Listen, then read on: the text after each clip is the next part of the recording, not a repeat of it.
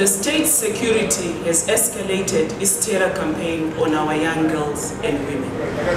Our streets are no longer safe for us young girls. Our homes are no longer safe. Over 50 women and young girls have been raped since 14 January 2019. There is no excuse to sexual abuse.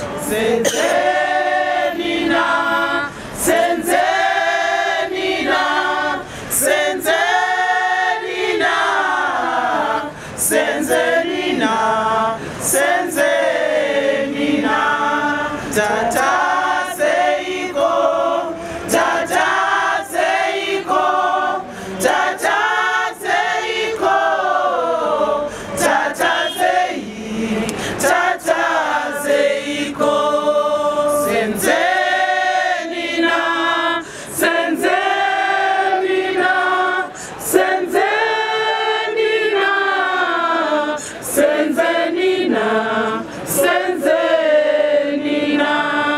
Tata Seiko,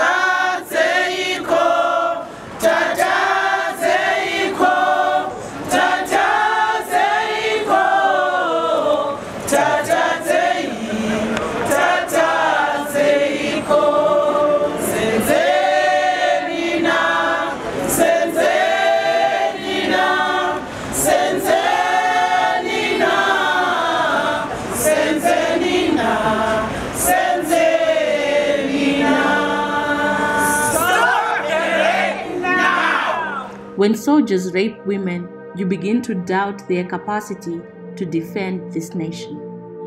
Our women, our pride. Siyala ukubanjwa iganyavu sikhathele. Jaramba baqathi ngalo. Justice for our women now.